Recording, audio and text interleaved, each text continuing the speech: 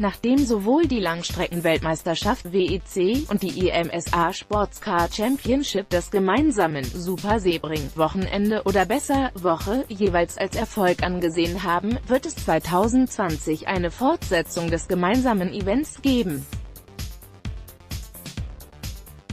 Als Termin wurde der 18. bis 21. März bestätigt. Damit rückt das Rennen um eine Woche nach hinten.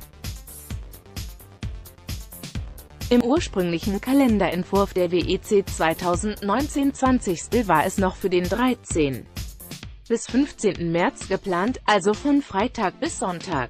Jetzt bleibt der Zeitplan aus 2019 erhalten, mit einem Rennwochenende, von Mittwoch bis Freitag für die WEC.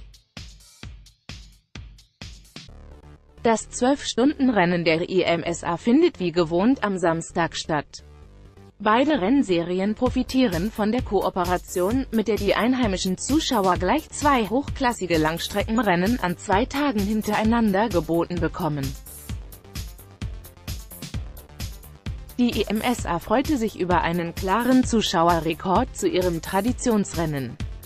Die WEC bekam über das gemeinsame Wochenende eine Reichweite in den USA zusammen, von der sie in Austin nur träumen konnte.